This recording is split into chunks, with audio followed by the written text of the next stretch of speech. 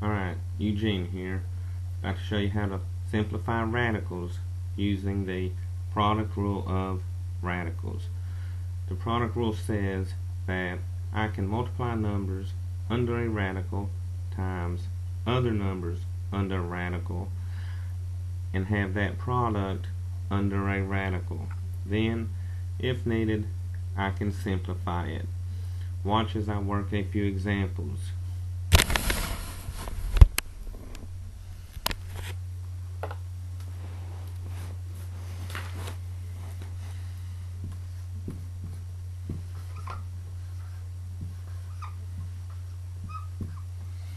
Square root of 2 times square root of 3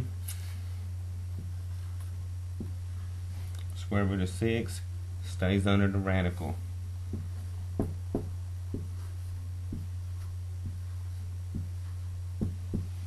Square root of 5 times square root of 2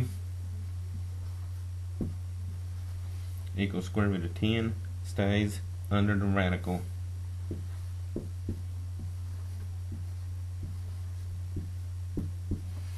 square root of 7 times square root of 7 equals square root of 49 under the radical, but I know the square root of 49 equals 7. Therefore, a radical times itself equals the number that was under that radical. Now, I'm going to use this product rule in reverse to simplify radicals. Now, when I simplify radicals, I want to remove any factors under that radical that are perfect roots of the index. Observe.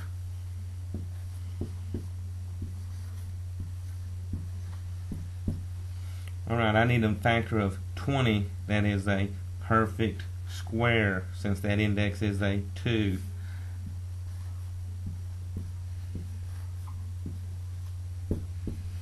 That would be square root of 4 times square root of 5 because I know the square root of 4 is 2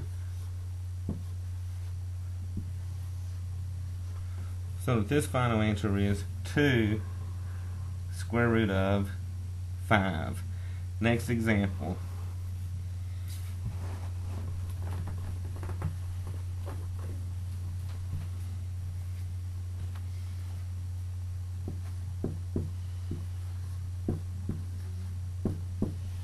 square root of 18. Give me a factor of 18 that is a perfect square because of that index. That would be 9.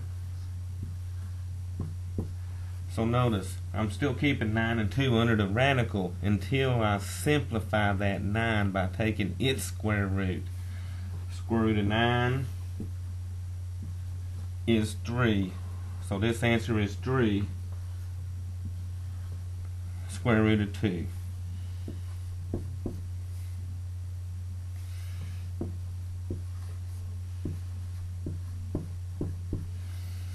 Cube root of 54. Now I need a factor of 54 that is a perfect cube.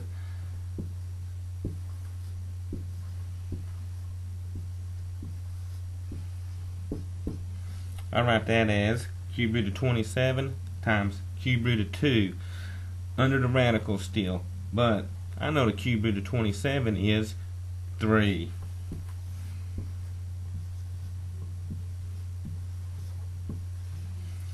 So that that final answer is 3 cube root of 2.